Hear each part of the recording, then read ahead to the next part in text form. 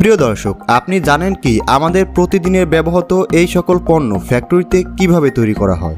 আপনারা জানলে অবাক হবেন, এই সকল ফ্যাক্টরিতে হওয়া কার্যকলাপ সাধারণের জন্য উন্মুক্ত নয়। তৈরি হওয়ার পর এই পণ্যগুলো আমরা যেমনটা দেখি, আসলেই কি তাই? চলুন আপনাদের ভেতরের খবরটা জানানো যাক, যা জানলে আপনার এতদিনের ভুল ভাঙবে। চলুন শুরু করা যাক। Toilet paper making process. এগুলো তৈরি করার জন্য সর্বপ্রথম পুরনো কাগজ সংগ্রহ করা হয়। এরপর সেগুলোর মধ্য থেকে ব্যবহার উপযুক্ত কাগজগুলোকে আলাদা করে সেগুলোর পাউডার তৈরি করা হয়। তারপর সেগুলোকে পানির সাথে মিক্স করা হয়। তারপরে এর মধ্য থেকে অতিরিক্ত পানি বের করে ফেলা হয়। ফলে একটি পাতলা লেয়ার তৈরি হয়। পরবর্তীতে একটি হিটার মেশিনের সাহায্যে এটিকে হিট করা হয়। এরপরে এগুলোর সাহায্যে বড় একটি রোল তৈরি করা হয়, যার উচ্চতা প্রায় নয় ফুট। তারপরে এটিকে অন্য একটি মেশিনে দেওয়া হয় আর সেখানে থাকা মেশিনের সাহায্যে এর ছোট ছোট রোল তৈরি হয়। পরবর্তীতে কনভেয়ার বেল্টের সাহায্যে এই ছোট ছোট রোলগুলোকে প্যাকেজিংয়ের জন্য নিয়ে যাওয়া হয়। এরপর এটিকে প্যাকেট করে বাজারজাত করা হয়। Mustard oil. সরিষার তেল তৈরি করার জন্য সর্বপ্রথম ফসলের জমি থেকে সরিষাগুলোকে ফ্যাক্টরিতে নিয়ে আসা হয়। এরপর মেশিনের সাহায্যে এর দানাগুলো আলাদা করা হয়। পরবর্তীতে দানাগুলোকে কনভেয়ার বেল্টের সাহায্যে অন্য একটি মেশিনে পাঠিয়ে দেওয়া হয়। আর সেখানে মেশিনের সাহায্যে এগুলো থেকে তেল বের করা হয়। তেল বেরিয়ে আসার পর এর গুণগত মান পরীক্ষা করা হয়। এরপর এগুলোকে মেশিনের সাহায্যে বোতলে ভরা হয়। পরবর্তীতে এগুলোর মধ্যে কোম্পানির স্টিকার লাগিয়ে বাজারজাত করা হয়। Beer making process. বিয়ার তৈরি করার জন্য সর্বপ্রধান উপাদান হলো গম। এর জন্য সর্বপ্রথম ফসলের জমি থেকে গম সংগ্রহ করা হয়। তারপরে মেশিনের সাহায্যে সেগুলোকে গুঁড়ো করা হয়।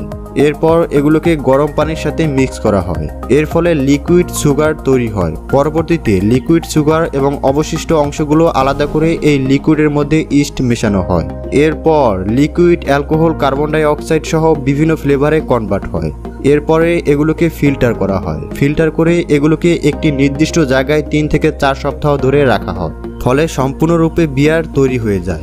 আপনারা জানলে অবাক হবেন, এই বিয়ার তৈরি সম্পূর্ণভাবে বাংলাদেশ এবং ভারতে নিষিদ্ধ। কিন্তু এই ফ্যাক্টরি নির্মাতারা গোপনে এগুলো তৈরি করে থাকে। পরবর্তীতে মেশিনের সাহায্যে এগুলোকে বোতলে ভরে বাজারজাত করা হয়। রিড চিল পাউডার, খাবার তৈরি করার ক্ষেত্রে অনেক রকমের মশলার প্রয়োজন হয়। আর এর মধ্যে মরিচ খুবই গুরুত্বপূর্ণ একটি উপাদান। বিশেষ করে লাল মরিচের গুঁড়ো মশলাদার খাবারের ক্ষেত্রে খুবই গুরুত্বপূর্ণ। এগুলো তৈরি করার জন্য সর্বপ্রথম ফসলের জমিতে মরিচ গাছের চারা রোপণ করা হয়। আর সেখানে চার থেকে ছয় মাসের মধ্যে মরিচ খাওয়ার উপযুক্ত হয়ে যায়। লাল মরিচের গুঁড়ো তৈরি করার জন্য ফসলের জমিতে থাকা মরিচগুলো যতক্ষণ পর্যন্ত লাল রং ধারণ করে কিছুটা শুকিয়ে না যায়, ততক্ষণ পর্যন্ত এগুলোকে সংগ্রহ করা হয় না। আর এগুলো সংগ্রহ করার পর এগুলোকে সরাসরি ফ্যাক্টরিতে নিয়ে আসা হয়। এরপরে এগুলোকে ভালোভাবে পরিষ্কার করে শুকানো হয়। আর এগুলো ভালোভাবে শুকিয়ে যাওয়ার পর এগুলোকে মেশিনের সাহায্যে গুঁড়ো করা হয়। তারপর প্যাকেট করে এগুলোকে বাজারজাত করা হয়। Sugar making process. চিনি তৈরি করার প্রধান উপাদান হলো আখ। এর জন্য সর্বপ্রথম ফসলের জমি থেকে আখ সংগ্রহ করা হয়। আর এক্ষেত্রে বেশিরভাগ সময় উন্নত প্রযুক্তির মেশিন ব্যবহার করা হয়। আবার অনেক ক্ষেত্রে হাতের সাহায্যে ওয়ার্কাররা এই কাজটি সম্পূর্ণ করে থাকে। এগুলো সংগ্রহ করার পর এগুলোকে সরাসরি ফ্যাক্টরিতে নিয়ে আসা হয়। ফ্যাক্টরিতে আনার পর এগুলোকে ভালোভাবে পরিষ্কার করা হয়। এরপরে এগুলোকে মেশিনের সাহায্যে শুকিয়ে একটি রোলারের মধ্যে রাখা হয়। এর সাহায্যে মূলত এর সম্পূর্ণ রস বেরিয়ে আসে। আর অপরদিকে এর অবশিষ্টগুলোও বেরিয়ে আসে। পরবর্তীতে এই লিকুইডগুলোকে ক্লিনিং এবং এর রং পরিবর্তনের জন্য কয়েকটি ধাপ অতিক্রম করতে হয়।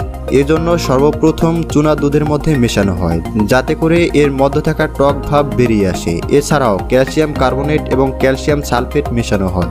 পরবর্তীতে এগুলোকে গরম করা হয়, তারপর এগুলোকে ঠান্ডা করা হয়। আর এই গরম করার মূল কারণ হলো এর অতিরিক্ত পানিগুলো যেন বাষ্প হয়ে বেরিয়ে আসে। এরপরে এর মধ্যে সত্তর পার্সেন্ট মিথাইল সালফেট এবং তিরিশ পার্সেন্ট গ্লিসারিন মেশানো হয়। ফলে এগুলো সম্পূর্ণ সাদা রং ধারণ করে। এরপর এগুলোকে মেশিনের মধ্যে দেয়া হয় আর মেশিনের সাহায্যে এগুলোকে চিনির মতো দানা দানা আকার দেওয়া হয়। এরপরে এগুলোকে প্যাকেট করে বাজারজাত করা হয়। প্রিয় দর্শক, এর মধ্যে কোন প্রসেসিংটি আপনাকে সবচেয়ে বেশি অবাক করল তা অবশ্যই কমেন্টসের মাধ্যমে লিখে জানাবেন। সবশেষে ধন্যবাদ।